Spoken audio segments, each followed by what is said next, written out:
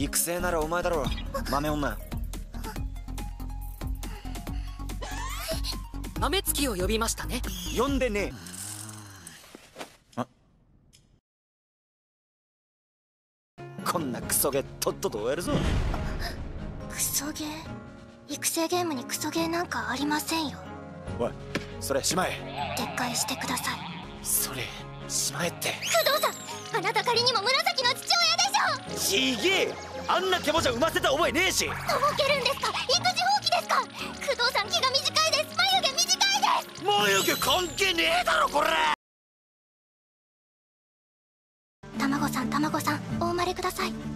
失敗したら卵焼きハムエッグカニ玉。工藤さん好きな女の子のタイプを教えてください。なんでだよ。あ早くお願いします。卵に耳が好みなんか知らんかよ。あーとりあえず女セーラー服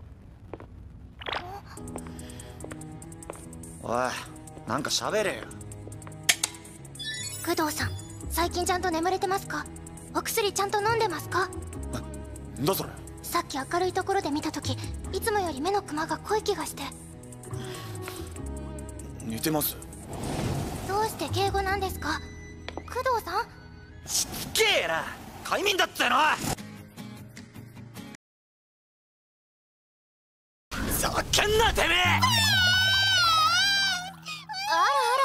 よしよし。おいでひみこちゃん。ごめんね。怖い顔はないないちまちだからね。誰のことだこれ。おい。おめえ一回寝てこい。すすみません。平気です。次の指示お願いします。おい。いいから寝てこいって言ってんだろうっせえ。寝ぼけてミスでもされたら帰って足手まといなんだよ。意訳するとですね。心配でたまらないから休んでくれ。夢見ろよ。だそうです。ほらアポンそりのすべて貸し切ってしまえ今は泣くとか失礼だろ。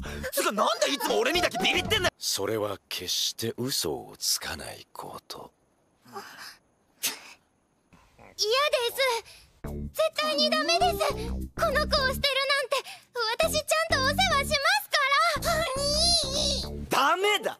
んなこと言って絶対俺らも世話する羽目になるんだ展開的に。このダンジョン嘘をついてはいけないんです。もしこれがタブーを犯した罰だとしたら。もう工藤さんはやっぱりまた眠れてない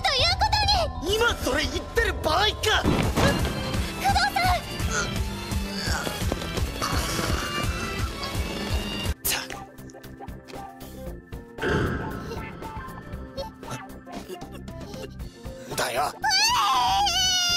また振り付きハウスおめえの嫌とこじゃねえ。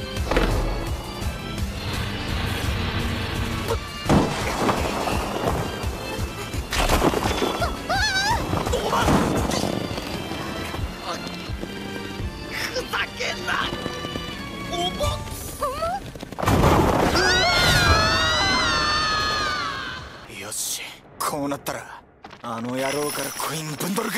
ああ持ってんだろとっとと出せ。よし。乱暴はやめてくださいね。分かったから笑顔でそれ持つのやめろ。うわだからちけえよ。やめろっつのその顔ごごごめんなさい。そのどこか痛むのかと思って。俺なんか言ったか？あいえ大したことは本当かこれ？本当に？チョコミンねえ見て言えトって叫んでたくらいです！言ったじゃねえか！忘れろ！こいつまた俺のメットの中潜り込んでたんだぞ！毎朝みっちり詰まってんだぞ！いい加減トラウマになるわ！ちゃんとしつけますから！お手だってもうできるんですよ！ほらプニツキ手を出して！上等だ汝の初恋を述べよ。れガツくんだよこいつ顔もノリもあいつの面影がちらっつうかねえしそんなもん。まだそんな口からで任せをいえ私私はギャンブルとか苦手なので皆さんがしてるのを見てるだけで。うん。ももしよかったらどうぞ。私どうせ勝てる気しないので。お悪いな。ヒーミンって絶対貢ぐ子だにゃ